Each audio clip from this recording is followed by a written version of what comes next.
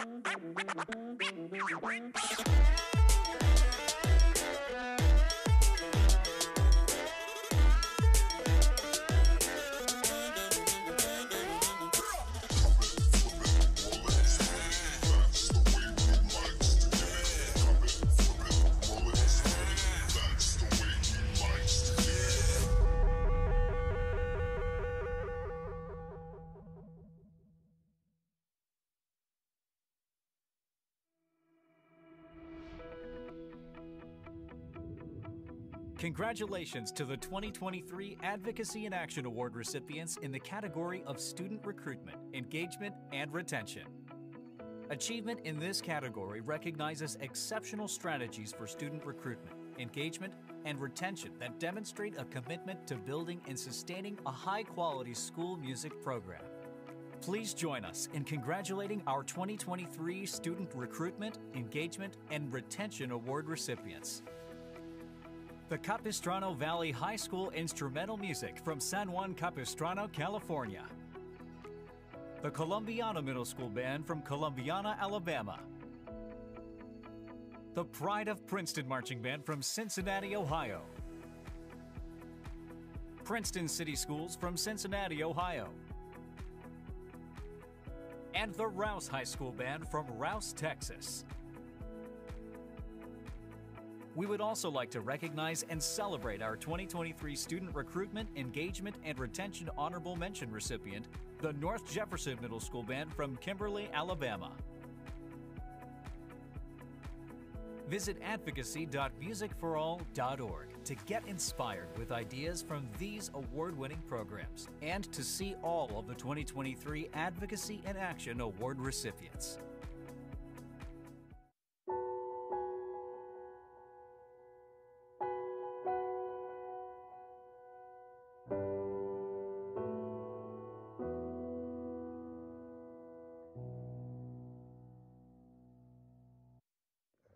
Everybody, Garth Brooks here. And Trisha Yearwood. Saying a big hello and a big thank you and a big keep it going to the music teachers that are teaching music in schools today during the pandemic. My mom was a school teacher, so I have a special place in my heart for you anyway.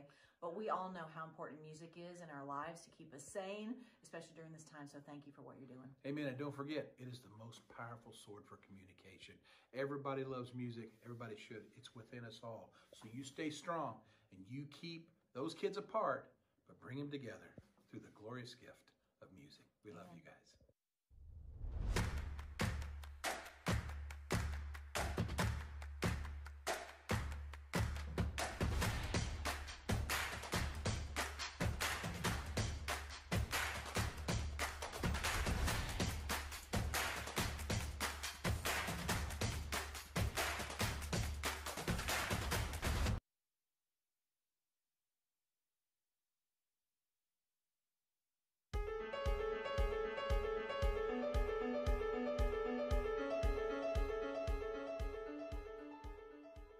Mindy Patton is the embodiment of above and beyond when it comes to the William Mason High School Marching Band and the greater Mason, Ohio area. When band director Edward Protzman arrived at Mason, he saw just how dedicated Mindy was to ensuring the continued success of the band. Over the years, Mindy arranged travel opportunities for the band, coordinated and implemented medical and mental health programs for the students, planned meals and snacks, secured monetary and in kind donations, and countless other tasks and responsibilities. She built the Booster Program into a welcoming and professional organization for all who wish to serve the students and staff. Director Protzman says, quote, In my 27 years of teaching, I have not worked with a more devoted, professional, caring, and innovative parent organizer. In 2020, in the midst of COVID 19, Mindy rented out a drive in movie theater so the kids could have a socially distanced, safe, and fun show reveal. She was integral in planning other COVID safe events like Family Showcase, History Night, and more. Kim Bishop, recording secretary of the 2021 Mason Band Boosters, described Mindy as, quote, an incredible, selfless human being with a heart of gold. She devotes endless amounts of time and energy to our program, for which I will forever be grateful.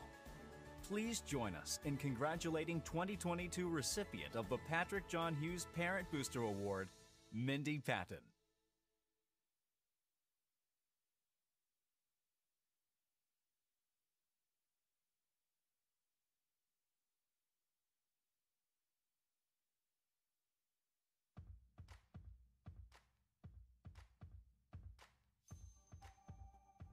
Classroom music education should be accessible to every student in the United States. It's a win win win for students, teachers, and system. School music helps develop a broad range of skills and positive character traits. It improves cognition and academic achievement. Students in school music programs have higher grade point averages and higher attendance and graduation rates. Participation in school music transcends socioeconomic levels. It increases decision making, collaboration, creativity, communication, critical thinking, and emotional awareness. The majority of Americans not only strongly support music education, but also say their personal experiences with music education prepare them for their future careers. Music in your schools equals more bang for your educational buck. Music is good for the school system, community, economy, and society. Be heard. Actively support music education and insist that students in your schools have access and opportunity to active music making. Learn more at musicforall.org.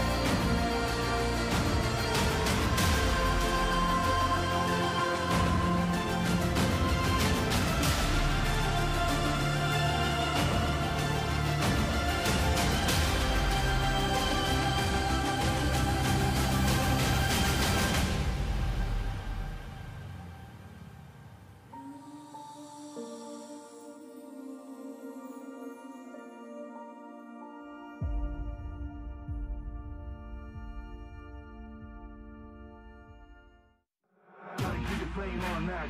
I'ma keep it going till there ain't none left. Going till there ain't none. Keep the flame on max. I'ma keep it going till there ain't none left. Going till there ain't none. Keep the flame on max.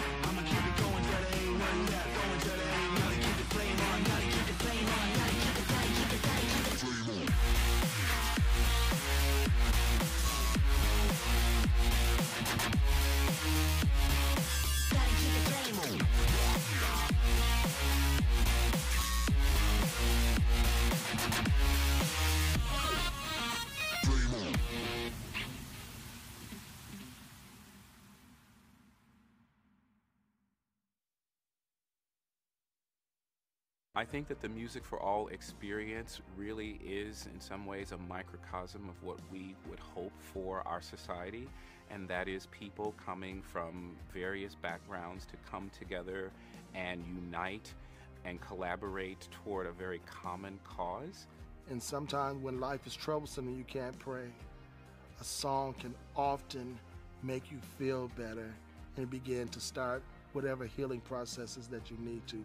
I believe that music does that. music just lends to being a diverse medium for communication, for bringing people together. And that's the world that we live in a world of diversity where acceptance of each other's cultures and music and aesthetic preferences that's where we are today.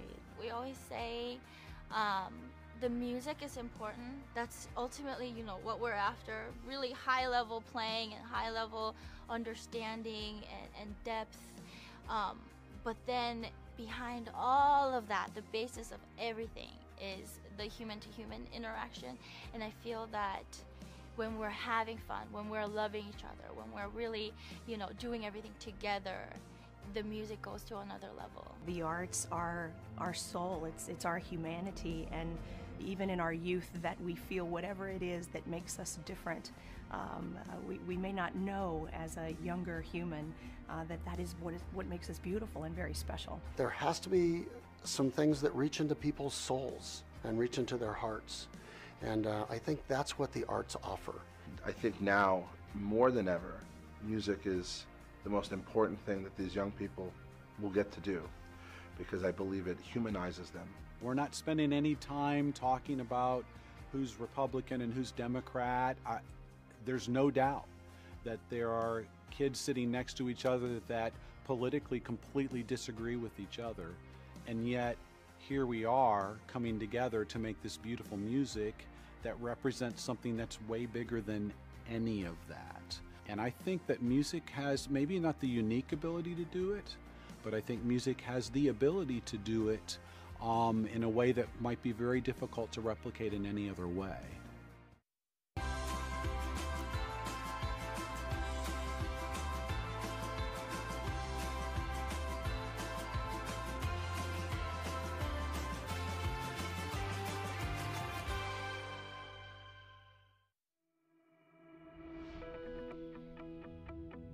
Congratulations to the 2023 Advocacy and Action Award recipients in the category of Parent Booster Support. Achievement in this category recognizes exceptional volunteer efforts from parents and boosters and demonstrates a commitment to developing an engaged and supportive network of volunteers for your organization. Please join us in congratulating our 2023 Parent Booster Support Award recipients the Rouse High School Band from Rouse, Texas, and the Tarpon Springs Leadership Conservatory for the Arts from Tarpon Springs, Florida. Visit advocacy.musicforall.org to get inspired with ideas from these award winning programs and to see all of the 2023 Advocacy in Action Award recipients. Hi, everyone. My name is Peter Schlosser. I'm a composer for television and video games. I'm here to tell you why I believe music education is pretty vital and why it's been one of the greatest gifts in my life. Before I do that, I want to thank each and every person that has crossed my path because of music. My parents, most of all, for allowing me to pursue it and for encouraging me and fomenting that love. By the time I was 19, I had the fortune of having lived in five different countries, and the one constant was always music. I sang in a few choirs, played piano and saxophone, and ultimately ended up composing. This has allowed me to learn so much about different cultures, and I am convinced the musical training was responsible for helping me greatly learn different languages. You know, regardless of whether anyone wants to do music professionally, I encourage everyone to partake in music education in some form or another. You know, it teaches you in a very literal way to play well with others and to connect with people in very meaningful and deep ways. It teaches you to really listen. You know, this reminds me of something I heard when I was in music college at a master class given by the incredible bassist Abe Laboriel. He said, and I paraphrase, the greatest act of love you can show someone is to listen to them. Thanks.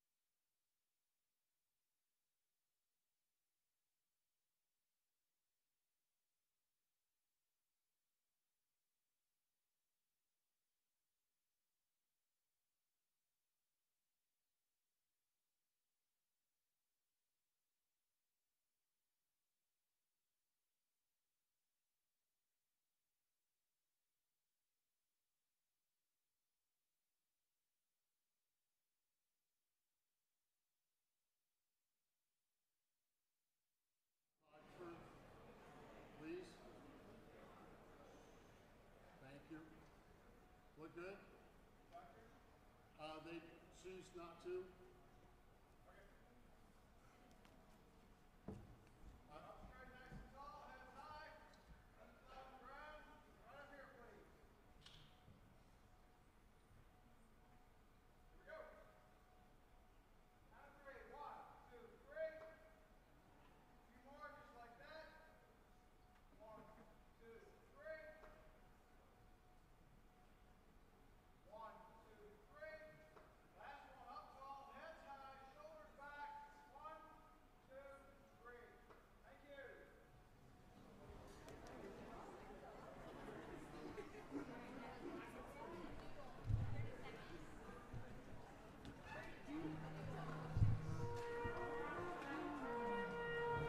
Ladies and gentlemen, welcome to Clowes Memorial Hall at the Butler Arts Center.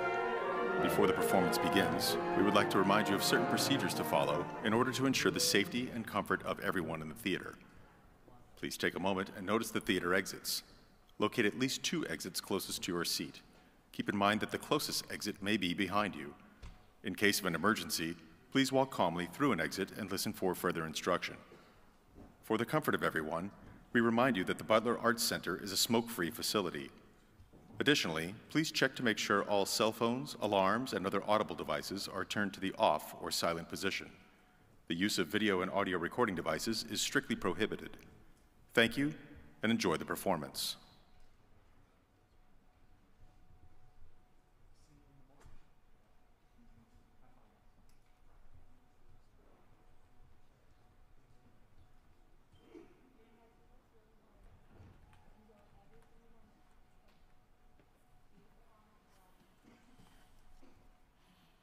Good morning and welcome to Clowes Memorial Hall and the 30th Annual Music for All National Festival presented by Yamaha.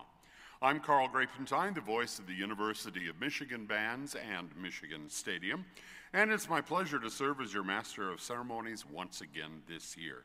We will begin officially today's performances in just a moment with the Hewitt Trussville High School Wind Ensemble from Trussville, Alabama back in just a few minutes.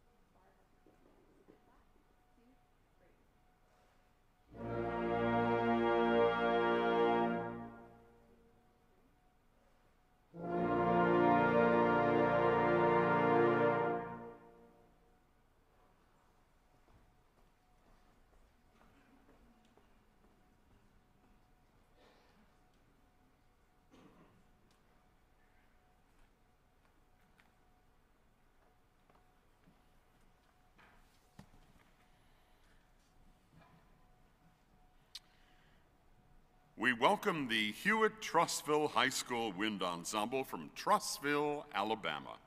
Their musical selections this morning will include Splendor Through the Skies by John Bubbett, Some Treasures Are Heavy with Human Tears by John Mackey, The Fairest of the Fair by John Philip Sousa, California by David Maslanka, and Un Cafecito by Dennis Llinás. The first piece, Splendor Through the Skies, was composed specifically for today's performance at the Music for All National Festival. The students wanted something that would honor the school and community, and so Hewitt Trussville's alma mater, which uses the melody to the hymn God of Our Fathers, became the basis for the piece. The title comes from the lyrics of the original hymn written by Daniel Roberts in 1876 to commemorate the 100th anniversary of the signing of the Declaration of Independence. A new melody called National Hymn was written by George Warren, which is the hymn we're all familiar with as God of Our Fathers. Splendor Through the Skies, the first official performance, music of John Bubbett. Will you welcome, please, the Hewitt Trussville High School Wind Ensemble and conductor, Ms. Shannon Moore.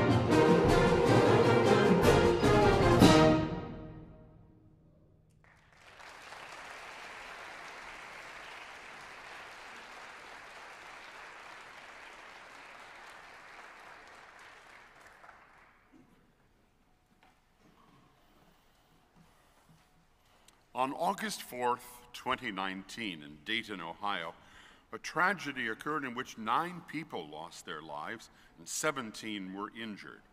One of the victims was a young woman who played trumpet in her high school band in nearby Bellbrook.